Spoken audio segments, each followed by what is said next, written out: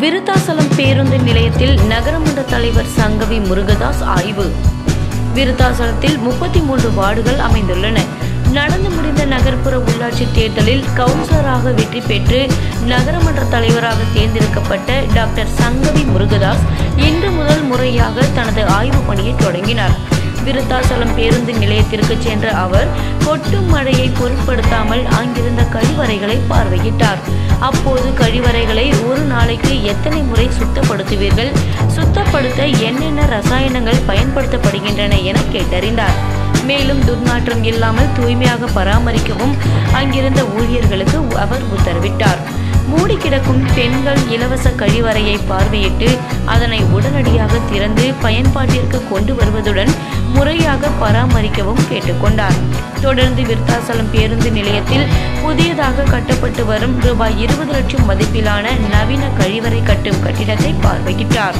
அப்போது விரைந்து தரமான முறையில் பணிகளை முடிக்க கேட்டுக்கொண்டார்.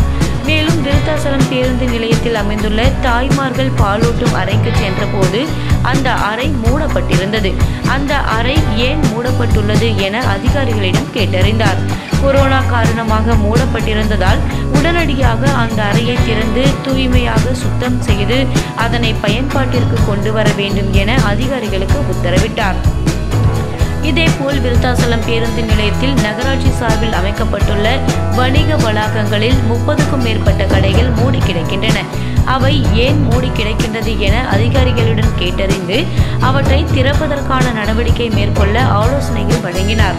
விருத்தாசலம் பேருந்து நிலையத்தில் ஆங்காங்கே கழிவு நீர் மற்றும் குப்பை கழிவுகள் தேங்கி கிடந்தது. ஆட்டோ ஸ்டாண்ட் அருகே கழிவுகள் தேங்கி துர்நாற்றம் வீசியது. இதனை பார்த்த அவர் துப்புரவு மேற்பார்வையாளர் கொளஞ்சியை அழைத்து நான் மீண்டும் நாளை வந்து ஆய்வு செய்வேன். அதற்குள் பேருந்து நிலையம் தூய்மையாக இருக்க வேண்டும் என எச்சரித்தார்.